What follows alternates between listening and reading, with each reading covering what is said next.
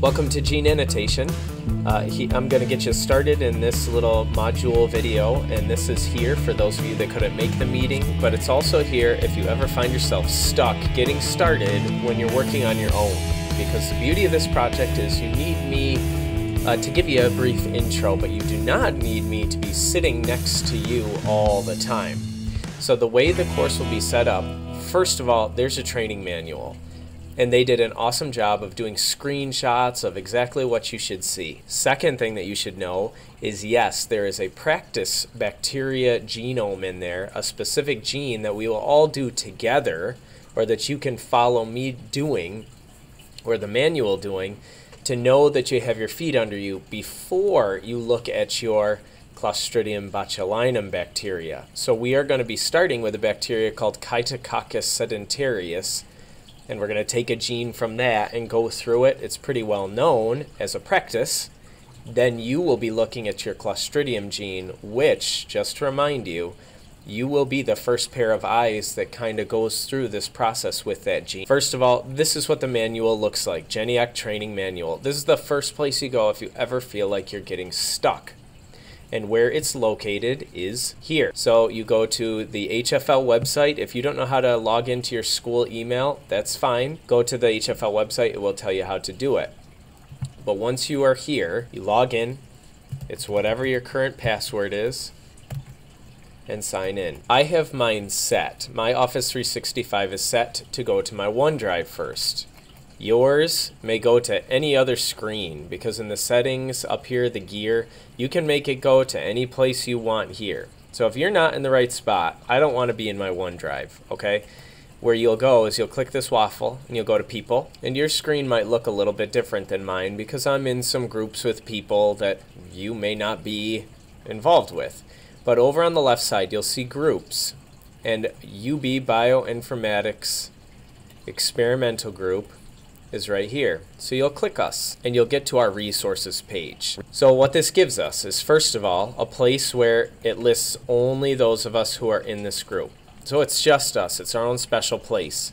And on here I have a calendar for us that will list when our next meetings are. So you can see there's two things right there. It also has a files section. So how do you get this training manual that is so important and makes your job so easy? Well, first of all, you could save it. But once you're in the files, you'll see that I have it here already, training manual by chapter.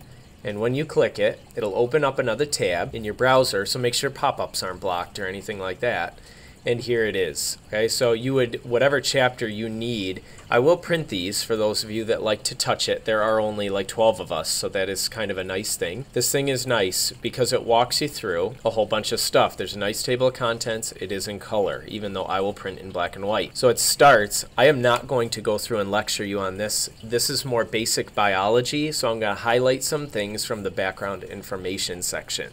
And then we're going to move on together to annotate our first uh, practice gene. So it goes through DNA structure, 5' and 3' and uh, nucleotides and nitrogenous bases. So you want to read this sometime, especially if this is a little rusty for you or you haven't gotten to it this year in class yet.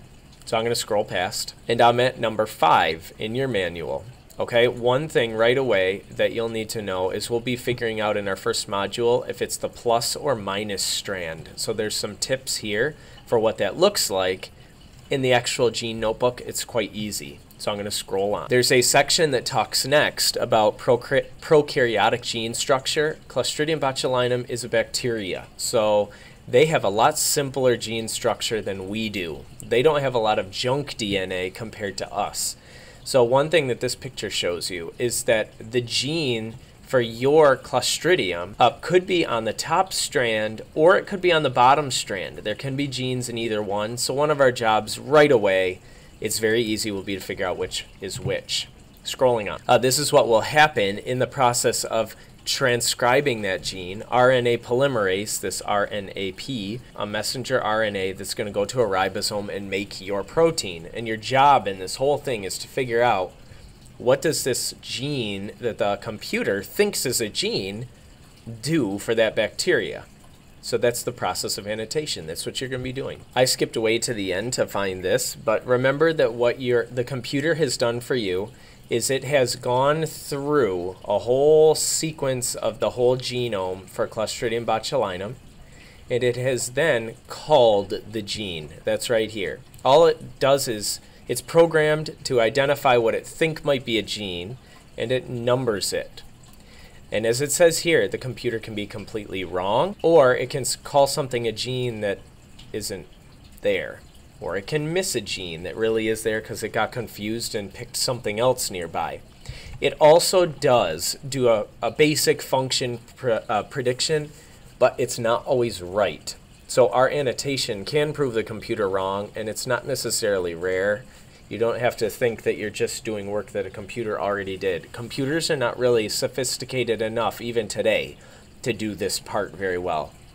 So as it says at the end, the human brain has unique properties that lets us see connections that a computer can't be programmed to connect yet until somebody smart enough to write the program comes along. Um, as an illustration, as we sign off to this basic info, uh, you can see they did an example towards the end for Listeria, for Listeria monocytogenes which is a bacteria uh, that can make us sick. So it's clinically significant. He just entered it into this website and he pulls up he pulls up some genome information. And as you can see, this bacteria Listeria, not our bacteria, but Listeria has they think 3,161 genes. That's what the computer thinks.